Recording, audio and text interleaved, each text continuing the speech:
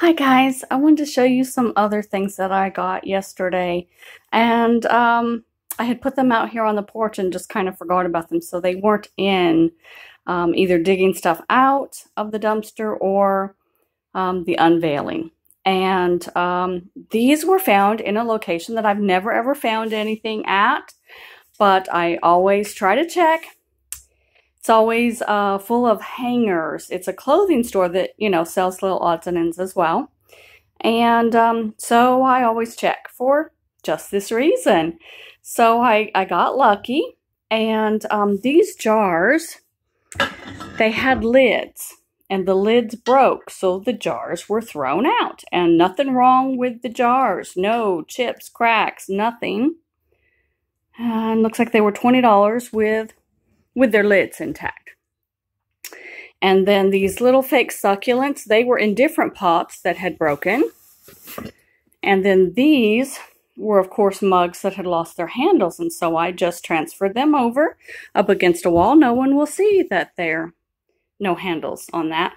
And then these were mermaids. And um, she had a tail and splashes of water coming up all around her. And when I first saw them, I thought, oh, what a shame. I would have liked to do something with that. And then I thought, whenever I have a piece of china that um, breaks, I always put it in my garden. And it's just a habit I have. Um, just as a garden decoration, I'll put the china out there. And so I thought, why not just bury her up to the break at each point? Of course, this one will be taller. This one will come down here. This one would be here. And then she will be a yard ornament, just kind of poking up out of the earth. So that's what I'm going to do with her. My husband thinks I'm crazy, but he thought I was crazy for dumpster diving now, didn't he? So it's my garden. I'll do what I like because that's how I roll.